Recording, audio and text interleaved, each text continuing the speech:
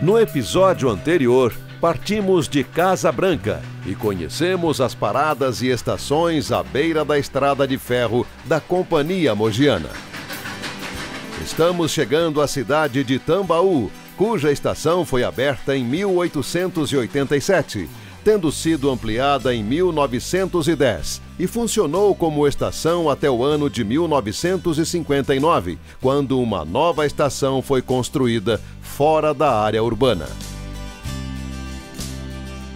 A estação velha fica mais no centro, uma, uma estação do padrão Mogiana, aqueles prédios que tinham um, um armazém junto.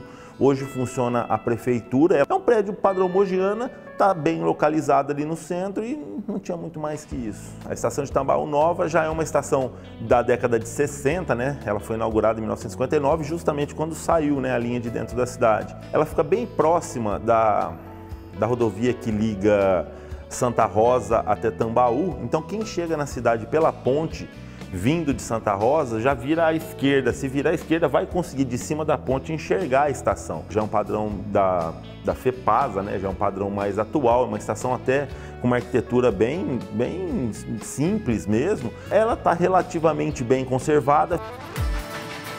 Um pouco mais adiante, chegamos a Faveiro, uma estação que foi inaugurada em 1898.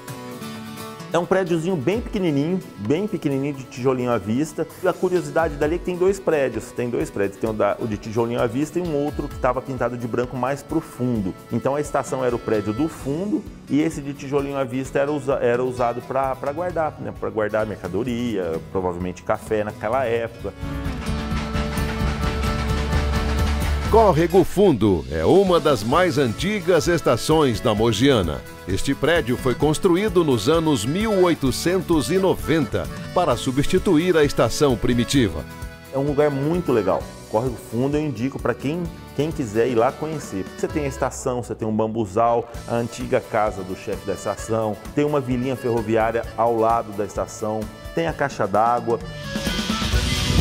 Aberta em 1 de agosto de 1898 com o nome de Glória, a estação, que mais tarde passou a se chamar Santos Dumont, servia de entroncamento para uma ferrovia que dava acesso a uma propriedade da família do inventor, Alberto Santos Dumont.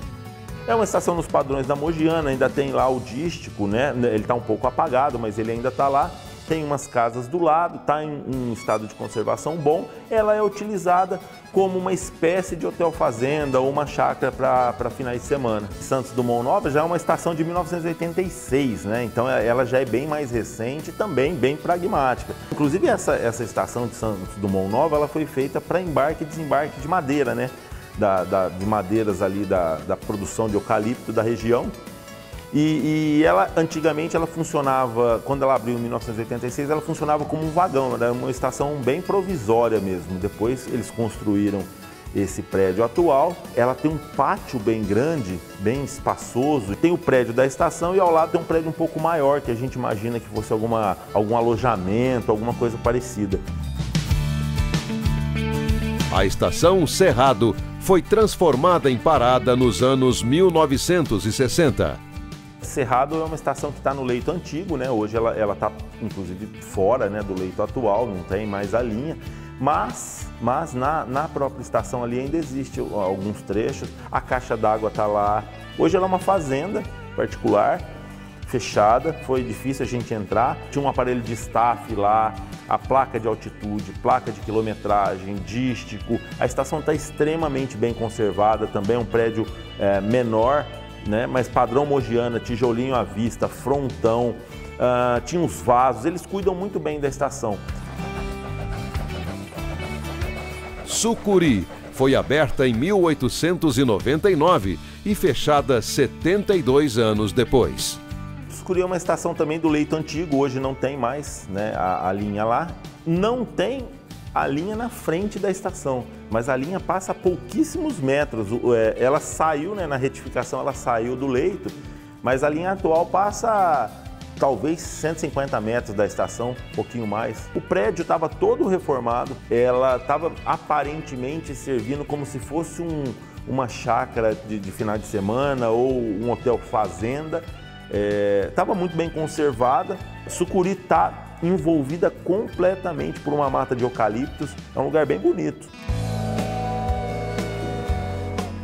São Simão Nova, que foi inaugurada no início dos anos de 1970, fica bem próxima à antiga estação.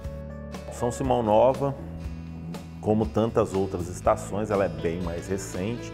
E, mas porém ela não é nos padrões da FEPASA, né? nos padrões que a gente conhece, aquele padrão mais moldado, aquele padrão de tijolinho à vista com telhas de amianto em cima, bem pragmático. Não, ela é, ela lembra mesmo uma casa, tem, tem a, a, o revestimento ali de parede, tinha os dísticos, mais recentemente me, me contaram que ela foi abandonada e hoje ela não está servindo para nada, o prédio está lá totalmente aberto e abandonado.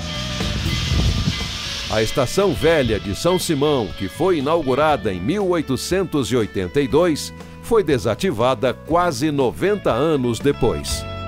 A Estação de São Simão, a estação antiga, né, ela fica numa parte relativamente alta ali da cidade, a avenida que passa em frente dá para perceber nitidamente né, onde era o leito.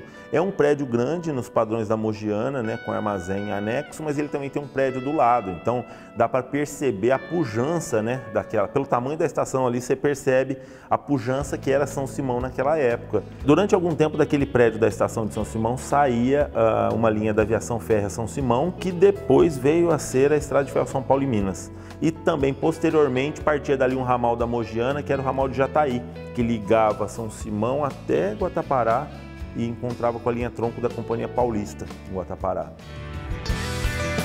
No próximo episódio, vamos viajar até Bonfim Paulista e conhecer as paradas e estações à beira da estrada de ferro da Companhia Mogiana.